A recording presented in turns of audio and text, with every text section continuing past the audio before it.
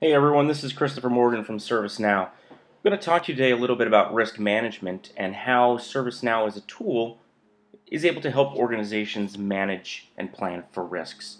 So this started when I was talking to a customer who was interested in deploying the ServiceNow project management application across their enterprise. They had a very robust risk management practice in place already, and they were curious about how they could use some of their existing tools and methodology in the platform that didn't automatically exist. The main one was this 5x5 risk matrix that they use to calculate the criticality of any given risk. So in this scenario, the inputs are going to be the likelihood and how likely this risk could happen, and the consequences of how impactful this risk could be should it happen. We then use that logic in the matrix to calculate its criticality. This customer is also interested in how the life cycle of these risks was going to trend over time. So if we had a risk that was becoming more critical, we'd definitely want to be able to identify that. And if we had risks that were staying stagnant or becoming less critical, we'd want to be able to track that as well so we could attach the appropriate disposition or the approach we were going to take to that risk. Now, there are no shortage of matrices out there that you're going to be able to find if you do a Google search on risk matrix or the 5x5 risk matrix, risk matrix calculator, everybody has got a different opinion. There's 3 by 3s, there's 5 by 5s, there's 7 by 7s. There's different degrees of criticality, different colors. The one that we opted for is a 5 by 5 and it has three different levels of criticality. Let's go over to the instance and check that out. So today, in the ServiceNow project and portfolio application, the risk level is just a field that's attached to portfolios and projects. It's very rudimentary. You can change this, you can update it. It is on the project level. However, we want to be able to get a little bit more granular on our risk tracking. So if I go into a project here, and this is just a sample project, has to do with database construction. I have a related list at the bottom that's showing me the risks associated with this project. So I can see a short description and I can see the criticality, the trend, and the approach I want to take right from a glance. Just like every list in ServiceNow, I can drill into these to get additional details. Now what we have here is the two choice lists that allow me to select consequences and likelihood. And you'll notice the criticality is currently high. If I were to change this to, say, 1, based on our logic, it's going to drop the criticality to low. Let me put them both at 3. And let me go over to this risk matrix. So what I've done here is I have a UI page pop up that shows our 5x5 risk matrix with the different degrees of criticality. It's taking the inputs from the form, so in this case 3 and 3, and putting the risk number on the appropriate cell in in this table here. This is live, so if I change it to 2 and 4 and go back to my risk matrix and refresh, it's going to put it in the appropriate place as well. I'd like to note that this risk in here is simply a label. We could have a big black X, we could have a count, we could have anything there that we'd like. I just thought that the risk ID uh, might be appropriate to put there.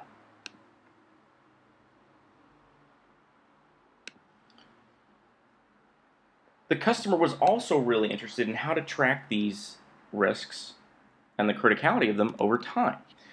This kind of led me to some logical questions here on actually how do we define how a risk is trending from a critical standpoint. And I just mocked up a couple of scenarios here that I didn't have great answers for.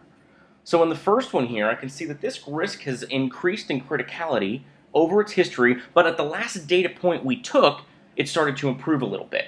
Well, obviously, if we look at its lifespan over the trend, it looks good. If we look at the most recent change, it doesn't look so good. That's emphasized on the, the chart over here on the right, which is basically showing a risk change across the board. There's no pattern, really no way to, to get good data out of that. In the bottom left, I'm at the same place I started in regards to this risk, but I've had some changes about halfway through.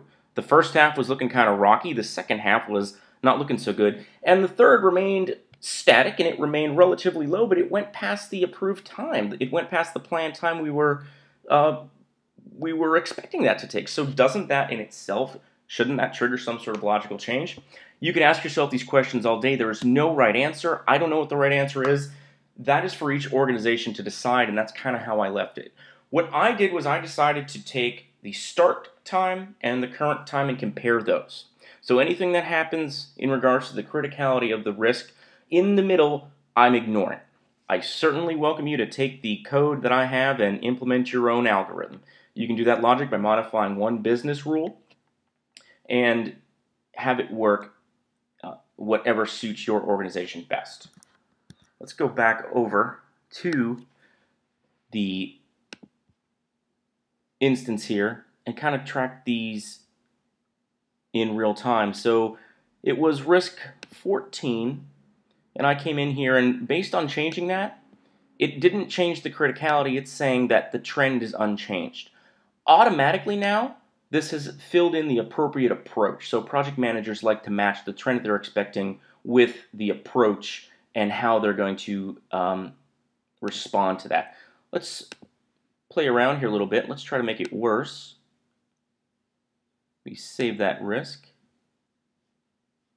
When I come back here, sure enough, it's trending worsening, and we've taken a different approach to it. Let's go back in here, see if we can make it better. So that should work. We save that risk. And now we see that this risk is low and it's improving. You can do that with any of the risks here and uh, really track it over time. So let's talk about how I did this. It wasn't very hard. It took a couple hours of work. Initially, when the customer came to me and said, hey, we want to take these two inputs and calculate a third from that, I was immediately reminded of the priority calculator that's already out of the box or out of the cloud on the incident form. So in that tool, that series of scripts, a service desk agent is able to take an urgency and a prior and a impact and automatically calculate the priority from there. So that's really what I did. I went into my instance and I first stole all those scripts and then did an insert and stay on them and I changed the name to instead of calculate priority to calculate criticality. So that really got me a jump start. I also modified the risk table. So I had to add additional fields that ServiceNow didn't ship with out of the box, like consequence, likelihood, criticality, the trend, and the approach.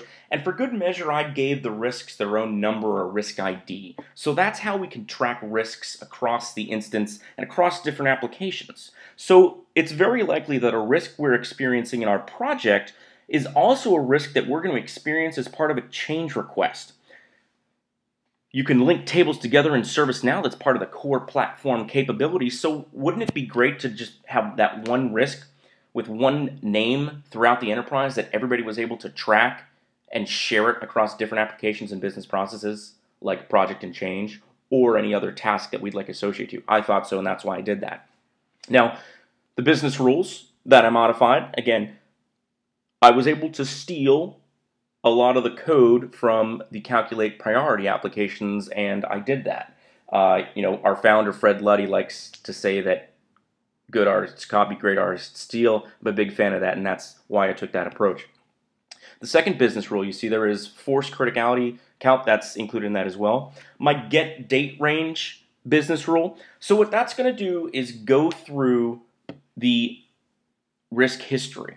I didn't put that on here, but I added another table in the platform called risk history. It's completely denormalized, and when you update your risk, what it does is it stamps that field with three different values that risk ID, the criticality at the time, and then the date. So we're able to track that over time. And again, I put that feature in there so if so you could implement your own logic based on how you consider the trend to be defined. So what that third business rule does is do a glide aggregate, figure out the earliest date it figures out the criticality on that date, and then it looks at the current criticality, and from there, it looks at, it figures out the delta and determines the appropriate trend. It then updates the record with that trend value.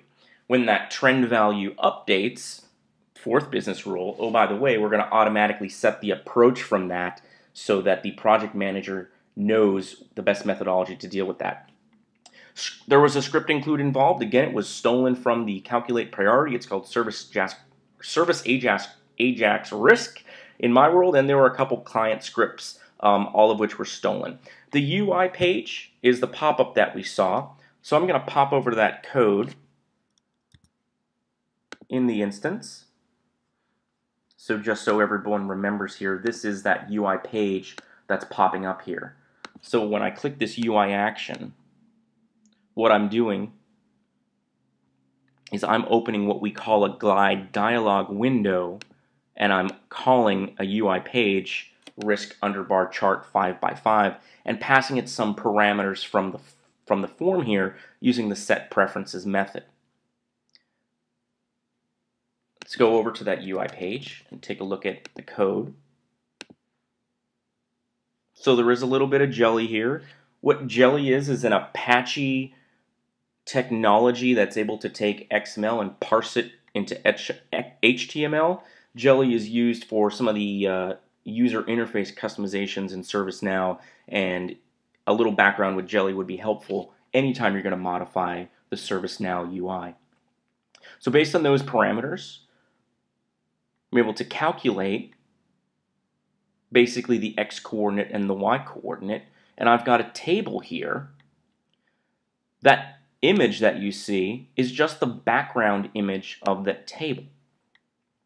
The table has, I think it has seven rows across. Let me think, one, two, three, four, five, six, seven, yes. So that's the five that means something, and then there's a border around the, the image that we don't want to display anything with. So anything that I've given an ID to, C3L5, is going to correlate to the appropriate cell. And then down here in my script, what I'm doing is looking for the get document, get element by ID of that cell based on the x and y coordinate, i.e. the likelihood and the criticality, picking that cell, and then I'm putting in the inner HTML which is what fills the contents of that cell. And in my case, I use the the risk uh, number, the risk ID. You could put anything in there. You do have a lot of data available to you at this point, and uh, you know I, I encourage you to to play around and to do that. So again, we change these coordinates. Let's keep them one and one. We open up the risk matrix and it's going to populate that risk ID in the appropriate location. As we do this over time, it's going to calculate our trend, and then it's going to give us an appropriate approach. So where do we go from here? You know, we in the ServiceNow and the ITIL world are big fans of continual improvement. So this isn't meant to be finished. This is meant to be open and shared. And number one, I want your feedback. I'm not a project manager. I'm not a PMO. I don't want to be one. I'm interested in how you would like to use this, what you think, and where do you think we should go from here, first and foremost. A couple of things I would like to do is I'd like to bubble up all the risks associated with this project and then calculate that overall project risk level, again, just that status of the project or portfolio automatically. And it might be cool on the project form to have a UI page that you bring up and it shows not just one risk, but all the risks laid out on that 5 by 5 matrix chart. That's something I'm going to start working on. I'd like to update that UI page to be bidirectional so I can actually click on the square that I want the risk to be and it would update the risk record. Again, change to the UI there is going to be possible with some uh, some scripting. And I'd like to clean up the global business rule. Global business rules are not that efficient. Generally, you want to put your global business rules if you have them into script includes I copied the stuff from Calculate Priority, so it works now. To be you know more robust, we'd want to update that. So I want to thank you for watching this. Again, this is Christopher Morgan. You can reach out to me at any time, christopher.morgan at servicenow.com. And I'm also making the update set available for you to download, install on your demo instances, install on your sandbox instances, kick the tires, and, and play around with. Thanks again.